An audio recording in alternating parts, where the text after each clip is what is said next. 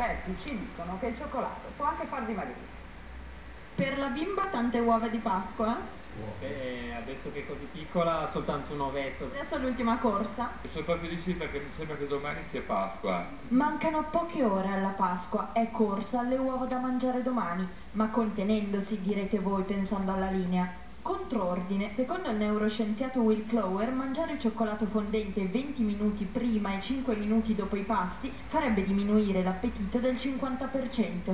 Altro che ingrassare, il cacao semmai potrebbe far perdere peso. Ah sì. Non ci credo. Beh, questa è una novità. E siccome sono golosa, eh, lei sta proprio rovinando.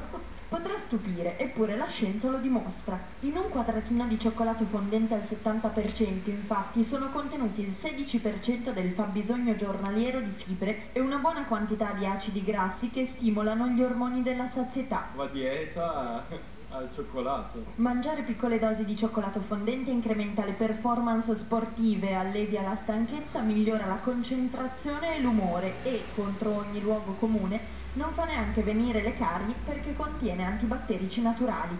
Niente sensi di colpa domani, dunque, anzi tutta salute, a patto che le uova siano fondenti. Invece di essere all'ingrasso sarete attenti alla linea senza saperlo. Saremo a dieta domani. Eh, vado a lasciarlo giù perché sennò muoio.